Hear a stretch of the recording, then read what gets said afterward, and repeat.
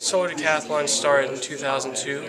Uh, it's sponsored by the Department of Energy, and the goal is to really inform the public, and specifically uh, building professionals and even uh, government officials, about the possibilities in sustainable building at this point.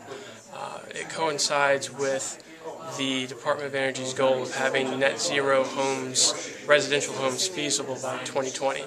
Uh, they have further goals of commercial buildings feasible, new construction by 2030.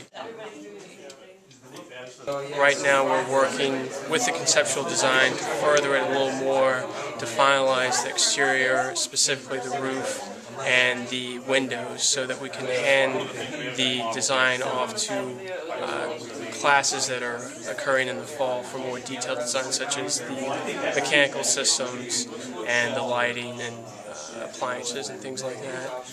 And so that's going to be detailed design the goal is to get 80% done by November.